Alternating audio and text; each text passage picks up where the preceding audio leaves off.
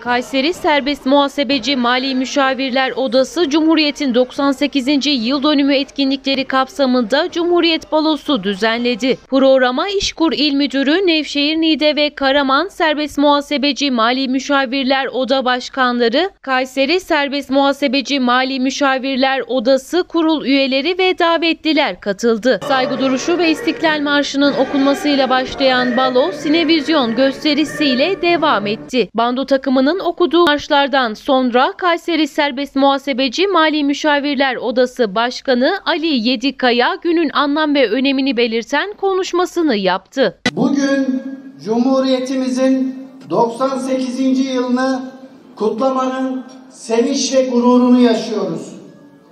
19 Mayıs 1919'da Mustafa Kemal Atatürk'ün Samsun'a çıkıp milli mücadeleyi başlatmasından 29 Ekim 1923 tarihinde Türk milletinin karakterine ve adetlerine en uygun olan idare biçimi Cumhuriyet idaresidir diyerek ilan ettiği Cumhuriyet Türk ulusuna bırakılmış en büyük miras ve asla vazgeçilmez bir değerdir.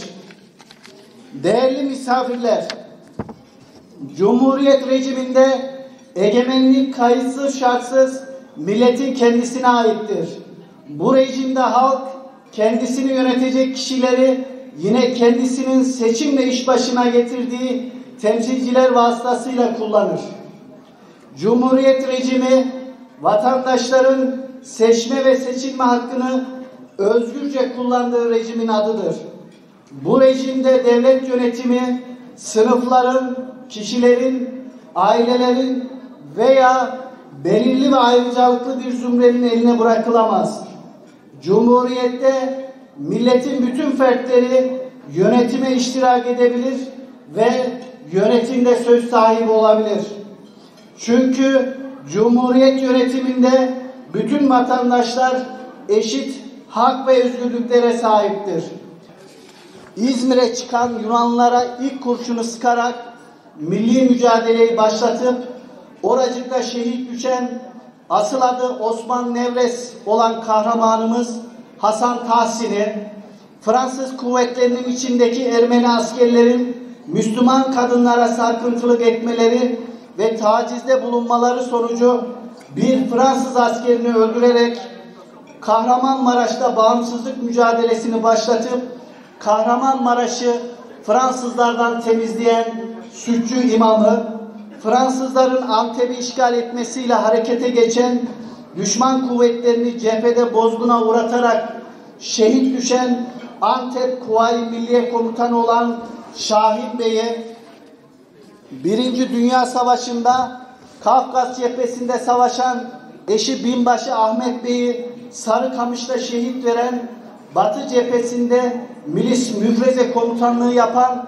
İstanbul'da silah kaçırma ve adam kaçırma işlerine yardımcı olan İzmir'de çoğunluğu kadın olan birliğiyle Yunan cephe gerisine saldırarak Yunan tarafındaki esir askerlerimizi kurtararak dönen Kara Fatma'yı Türkiye Cumhuriyeti'nin kaderini değiştiren Çanakkale Savaşı'nın kazanılmasında en önemli rolü oynayanlardan biri Çanakkale Savaşı'nda 275 kiloluk top mermisini tek başına kaldırarak namluya yerleştiren İngiliz zırhlısını tek başına boğazın sularına gömen Seyit Onbaşı'yı ya da diğer adıyla Koca Seyit'i kanısı ile İnebolu'dan Ankara'ya kundaktaki bebeği Elif ile cephane götüren yolda yağmur başladığında o soğukta küçücük yavrusu Elif'in battaniyesini çocuğunun üzerinden alıp mermiler ıslanmasın diye üzerini örten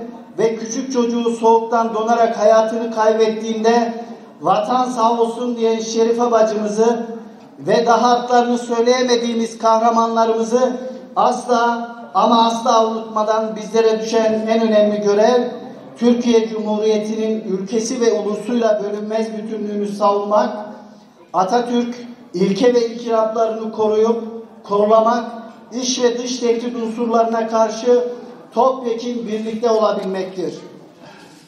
Değerli konuklar, kuşkusuz ki Cumhuriyet demokrasiyi geliştiren en mükemmel sistemdir. Bireyin hak ve özgürlükleri ancak ve ancak bu sistem sayesinde güvence dolabilir.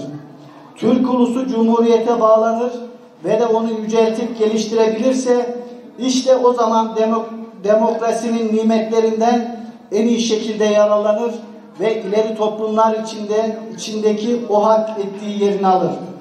Bu nedenle bu nedenle cumhuriyeti yüceltip sürdürmek her Türk'ün milli bir görevi olmalıdır.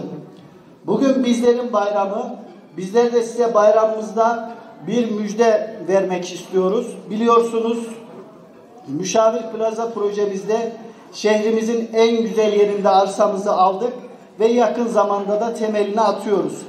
Yine sizlerden gelen talep doğrultusunda yakın zamanda müşavir konut projemizi de başlatacağız.